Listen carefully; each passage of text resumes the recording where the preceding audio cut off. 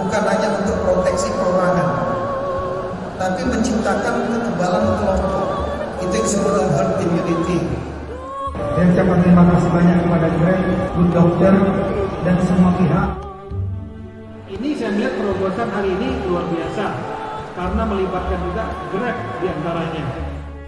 cara yang sudah kita lakukan sebelum-sebelum ternyata vaksin inilah yang paling bisa membuat kita percaya diri agar segera lepas dari belenggu COVID-19. Pusat vaksinasi ini yang di Palembang ini dan di Palembang yang menargetkan 4.600 lansia dan pegawai publik, transportasi maupun pariwisata. Mari kita sama-sama sukseskan vaksinasi nasional.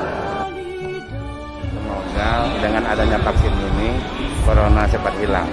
Saya berharap semoga pandemi ini cepat selesai. Malah saya tidak takut untuk divaksin. Bagus untuk kesehatan dan beraktivitas seperti biasa kembali.